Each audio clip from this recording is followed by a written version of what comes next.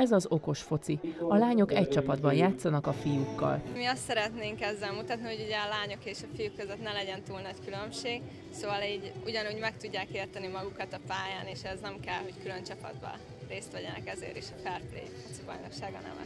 A torna gondolkodásra készteti a focistákat, erősíti a csapatszellemet, valamint serkenti az együttműködést az ellenfelek között. Ez egy olyan uh, futball uh, szabályzat, ami a, a csapatok közötti együttműködést segíti, illetve a csapatok között is az interakciót. A fair play mérkőzéseken a játékosok felsegítik az ellenfelüket, sőt szabadrugást is kérnek számukra.